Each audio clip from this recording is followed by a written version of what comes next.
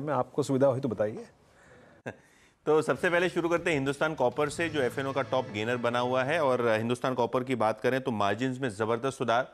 Margin 38 percent आए, जो पिछले साल 22 परसेंट थे, और रेवेन्यूज में भी लगभग 33 परसेंट की ग्रोथ और अच्छे नंबर्स के बाद शेयर में आप 4 परसेंट की ओपनिंग टिक में मोमेंटम देख रहे हैं। इसके अलावा Adani energy solution stock 6 percent ऊपर है, और एमएससीआई ने अदानी ग्रुप के शेयर्स पे एम्बार्गो जो लिफ्ट किया है और जो शेयर्स में फिर से एक बार एम की बाइंग आएगी, उसके चलते अदानी एनर्जी सोल्यूशंस में मोमेंटम अभी भी स्टॉक साढ़े चार, पाँच परसेंट की तेज़ी के साथ आपको बनना, बनता हुआ दिखाई पड़ रहा है।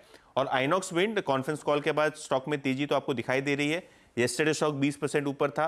आज भी स्टॉक अगर आप देखें तो 9 परसेंट की तेज़ी के साथ है। एडिशनल न्यूज़ ये आई है कि 51 मेगावाट का ऑर्डर इनको एवर से आया है। तो रिजल्ट्स के बाद शेयर में मोमेंटम आज भी बरकरार बिल्कुल हाइनॉक्स बैंड कल भी शानदार मोमेंटम में था, आज भी। यतिन बहुत बहुत शुक्रिया ये सारे के सारे स्टॉक्स रेडा पर रखने के लिए।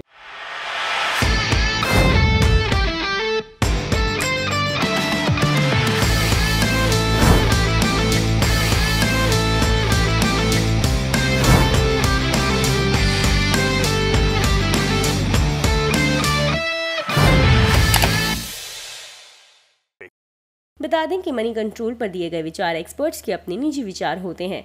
वेबसाइट या मैनेजमेंट इसके लिए उत्तरदायी नहीं है। यूज़र्स को मनी कंट्रोल की सलाह है कि कोई भी निवेश निर्णय लेने से पहले सर्टिफाइड एक्सपर्ट की सलाह लें।